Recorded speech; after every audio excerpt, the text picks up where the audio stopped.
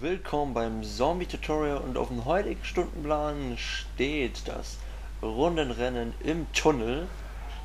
Der Tunnel allgemein ist ein sehr geiler Spot, wie ich finde, zum Rundenrennen.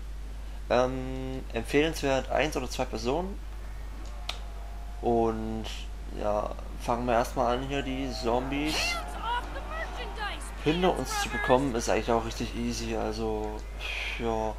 Und so nebenbei kann ich schon mal die Pro-Seiten abdecken. Die Pro-Seiten, also eindeutig, der Elektro-Zombie, der Avogadro, der kommt hier nicht rein. Und das ist eigentlich schon eine richtige Pro-Seite. Ähm, es ist auch eigentlich relativ viel Platz hier drin. Also ich habe da nie wirklich Probleme gehabt. Na gut, das, was ich dazu sagen muss, im Koop ist das natürlich immer wieder was anderes als in Solo. In Solo kommt der ganze 24er Haufen nur auf einen selber. Im Koop wird das irgendwie aufgeteilt. Wie, weiß keiner so wirklich. Ähm, aber eigentlich dürften bei dem Platz hier nicht wirklich irgendwelche Probleme auftauchen. Und ja, das wäre hier das erste Teil, wo man Runden laufen könnte. Der zweite Platz, der wäre hier hinten. Maximal bis zu der Linie. Denn sonst kommen die Denizens hier. Die Bewohner des Waldes.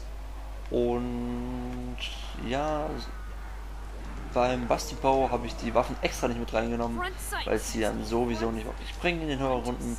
Hier die M16 da drüben an der Wand. Auf jeden Fall eine richtig geile Waffe, auch selbst noch Runde 30, 40. Auch unpackepunched. Ja, da kommen wir gleich zur Pro kommen wir gleich zur Kontraseite. Der Bus, wie immer. Ähm, ja, na gut, in den höheren Runden kann es wahrscheinlich vorkommen, dass die Muni von der M16 sehr schnell leer geht. Man hat damit 120 Schüsse insgesamt und ein 30er Magazin so schon drin. Ähm, aber man muss einfach nur ganz normal alle Zombies hinter sich bringen. Und wie ihr dann seht, habe ich eigentlich gar keine Probleme, die Muni zu kaufen. Und man kann ja dann am Ende nochmal richtig schön reinballern. So, die ganzen Zombies sterben und vielleicht sogar noch ein Max Ammo oder Double Points droppt. Oder vielleicht auch einen zu Kill. Ja, Kontraseiten habe ich ja alles gesagt. Nee, obwohl, ja, das Feuer. Wobei, das Feuer kann man auch zu einer Pro-Seite machen, denn die Zombies werden ja dadurch anfälliger von den Schüssen. Durch die Schüsse sterben die ja dann natürlich noch schneller. Nein, nicht das Feuer sterben die natürlich schneller. Mit den Schüssen kombiniert. Und ja, das war's auch schon für den Tunnel. Also, das ist echt mein Lieblingsspot hier zu rennen.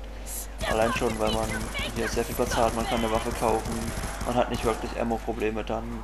Die Waffe ist relativ stark und ja, das ist alles okay hier. Man sieht sich dann im nächsten.